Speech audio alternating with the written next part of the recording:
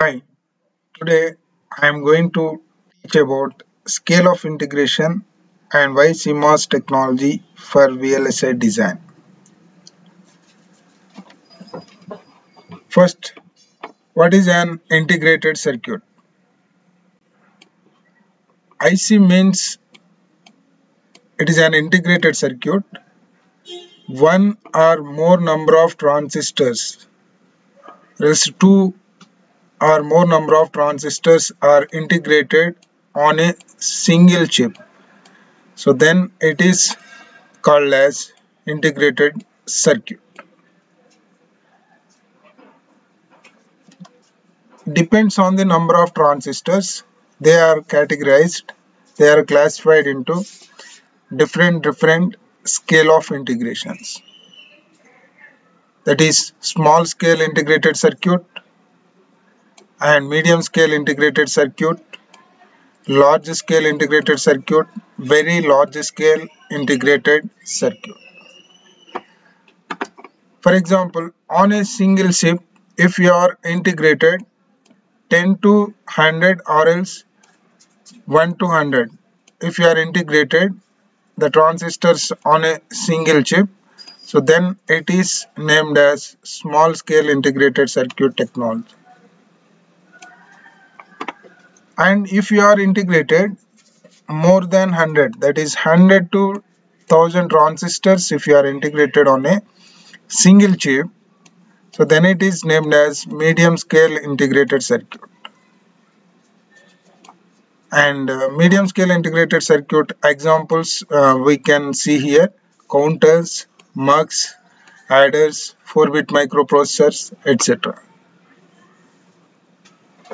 Coming to the LSI technology, largest scale integrated circuit technology, if you are integrated 1000 to 10,000, 1000 transistors to 10,000 transistors are integrated on a single chip, so then it is named as large scale integrated circuit technology. Compared to MSI, it is big one. So here the examples are 8-bit microprocessor, ROM, read-only memory, RAM, random access memory. Coming to the VLSI, very large scale integrated circuit.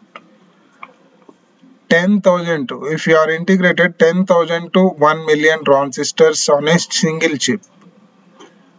10,000 to 10,000 to 1 million transistors are integrated on a single chip then it is named as very large scale integrated circuit.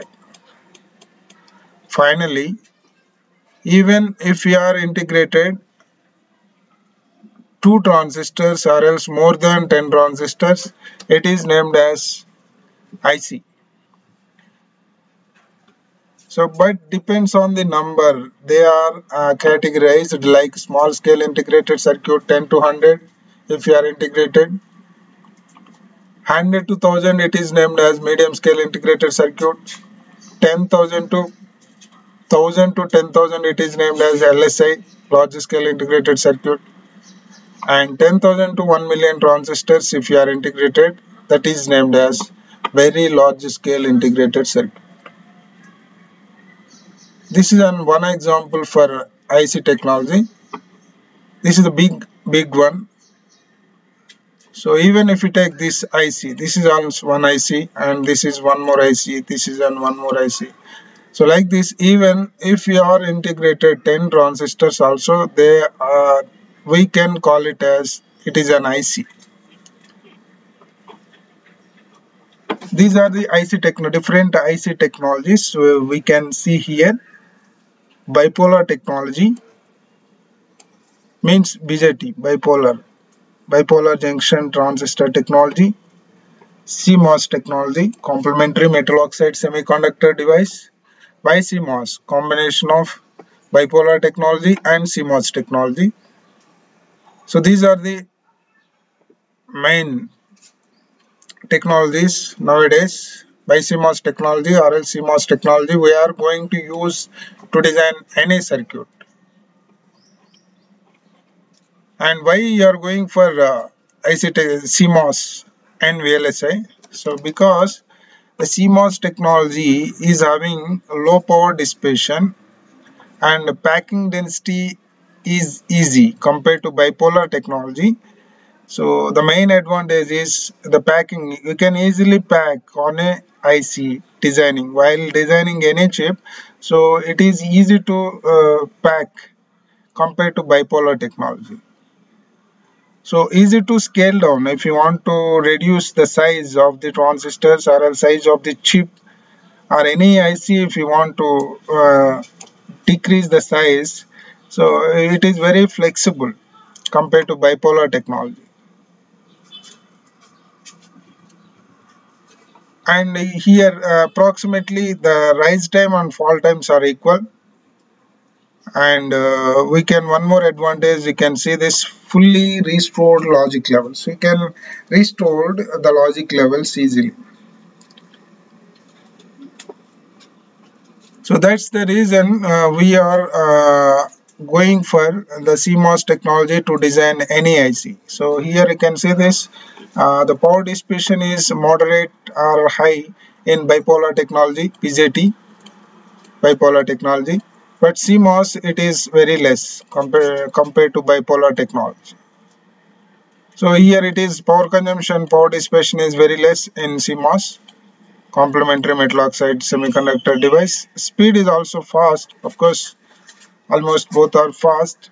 But gain margin I can say this it is 4 milliseconds but here it is 0.4 milliseconds. And switching implementation is very good than bipolar technology and uh, technology improvement it is very speed very fast uh, as per Moore law. So but it is slower.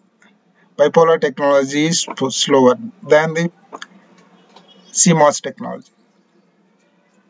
So we as we know that the bipolar technology is uh, uh it is a current control device but uh, CMOS technology is a voltage control device. So that's the reason it is having uh, more noise compared to MOS technology. So we can see this uh, the bipolar technology is having emitter base collector or else it is if you take uh, the common emitter amplifier.